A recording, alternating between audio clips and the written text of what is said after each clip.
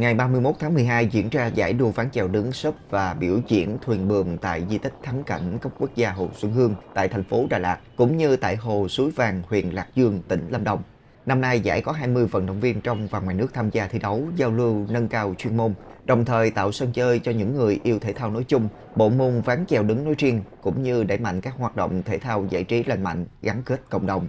Đáng chú ý, hoạt động biểu diễn thuyền buồm trên hồ Xuân Hương của đội tuyển trẻ sailing quốc gia đã mang đến những trải nghiệm mới cho người dân và du khách. Đây cũng là dịp để góp phần quảng bá hình ảnh thành phố Đà Lạt, một điểm đến hấp dẫn, văn minh, thân thiện đến với du khách trong nước và quốc tế.